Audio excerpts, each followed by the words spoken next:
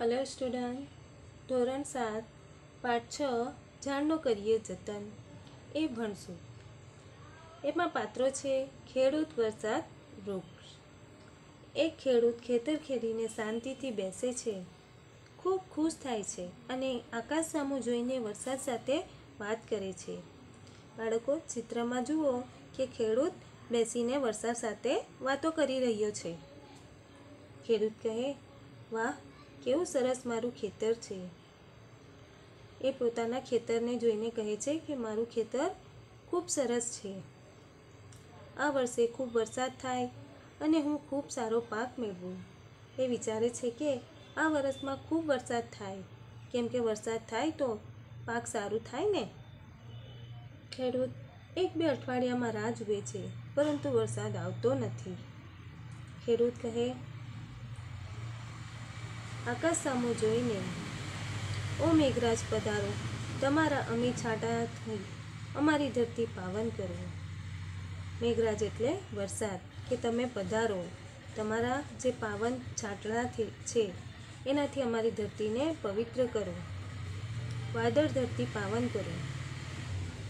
વરસાદ કહે, હું કેવી રીતે આવું? વરસાદ શું બોલે છે કે હું કેવી રીતે આવું? વૃક્ષે મને સંદેશો મોકલ્યો નથી. એના આમંત્રણ વિના હું કેવી રીતે આવું? તમે વૃક્ષરાજને પૂછો. શું કહે છે વરસાદ?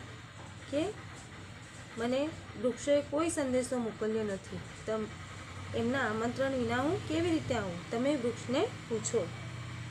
ખેડૂત કહે, તો શું મારે વૃક્ષની પાસે જવું પડશે? વરસાદ કહે, હા, જરૂર. ખેડૂત કહે વૃક્ષરાજ, ઓ વૃક્ષરાજ, ખેડૂત, વૃક્ષ પાસે જાય છે. અને બોલે છે, વૃક્ષરાજ,